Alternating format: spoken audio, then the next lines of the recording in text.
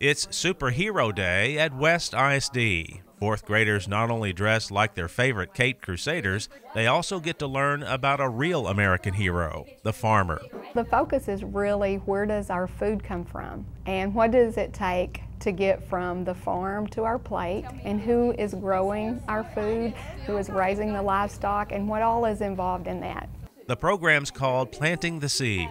Kindergarten through fifth graders learn about the soil, learn about farmers and ranchers, and plant their own sunflower seed. They get a feel for how important agriculture is to them, whether they're in a rural school like West or in the middle of the city.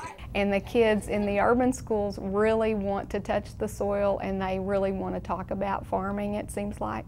The pilot program kicked off in January. It's focusing on schools between Dallas Fort Worth, Houston, and San Antonio, but hopes to expand to the rest of the state. Planting the seed is fully aligned with Texas teaching standards. Kids seem to enjoy learning how things grow, and hopefully, this will plant in them a passion for agriculture.